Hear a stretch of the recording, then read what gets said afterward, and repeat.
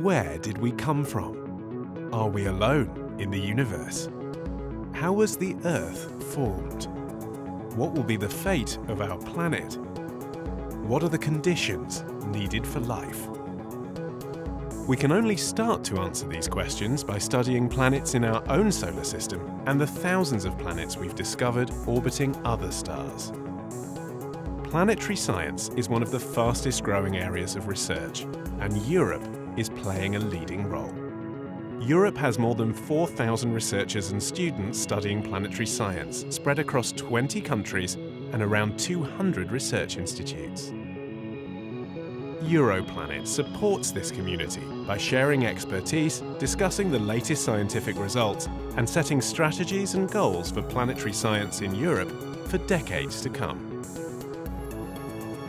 Europlanet provides virtual access to datasets, visualization and analysis tools needed for comparing and understanding planetary environments in the solar system and the impact of the Sun on the worlds that surround it.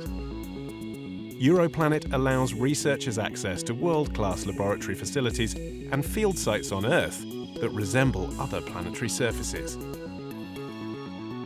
Technologies developed for planetary exploration drive innovation and job creation in Europe's world-leading space industry and spin out to other sectors.